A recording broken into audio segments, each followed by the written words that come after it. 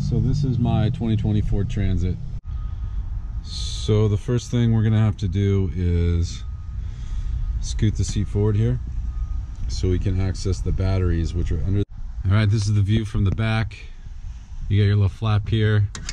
These are eight millimeter bolts, two of them that we're gonna need to take off. And here's just a view of what's under the seat.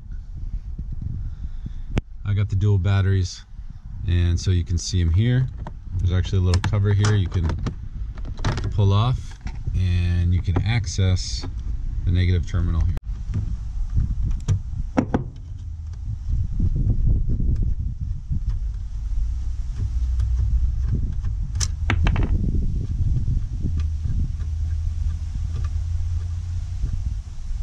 And the key is not to lose the bolts. So, that out of there. Best thing to do, put them in this little cover. And then as soon as you knock over the cover, they all go flying. So now we're gonna take off this cover plate here. It's just kind of hung up in the back there, so you just fiddle with it until it comes out. Oh, one more thing, you gotta pop this out here. First thing, pop this out. Just a rubber grommet. And there you go, pops out like that. Part of the uh, red or positive terminal of the cable. Step one, just get this little tab here out on both sides. That tab out. And now it'll slide kind of out towards you.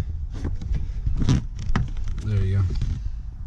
And when so when it goes back in, this tab, this tab, you'll slide in. Hard to see, I know. Right there. Just got to deal with those tabs. Here you can see both batteries. Battery number one, battery number two. Looks like they're in parallel. They're hooked together on the positive and hooked together on the negative. So you undo this little bolt, it's 10 millimeters, and then you wiggle this thing off.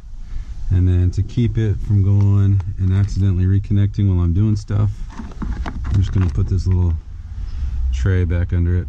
So now the battery's disconnected.